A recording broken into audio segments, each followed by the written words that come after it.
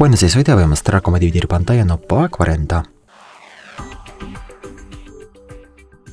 Para eso hay que abrir una de las aplicaciones que tenga esta opción, por ejemplo fotos.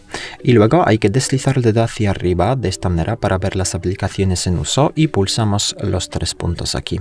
Luego pasamos a pantalla dividida y abrimos otra aplicación de aquí. No ajustes, vamos a abrir por ejemplo mensajes. Y ya está, ya podemos usar ambas aplicaciones a la vez. Si quieres salir de aquí hay que simplemente mantener presionados los tres puntos y deslizar el dedo hacia arriba o hacia abajo, de esta manera. Y ya es todo. Muchas gracias por ver el vídeo, te invito a comentario abajo, suscribirte al canal. Hasta luego.